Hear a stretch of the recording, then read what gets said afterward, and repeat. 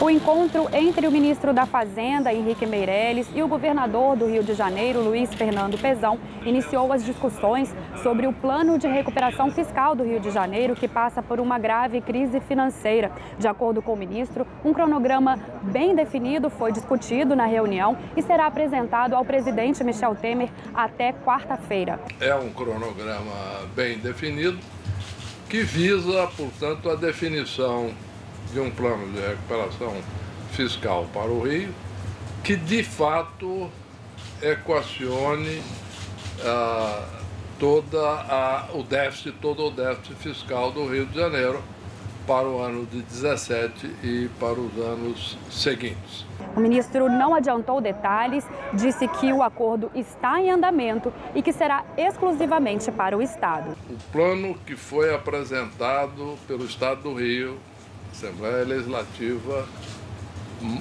adicionado pelo conjunto de medidas que são as contrapartidas que constavam no projeto apresentado ao Congresso Nacional, servirão de base para este plano de ajuste.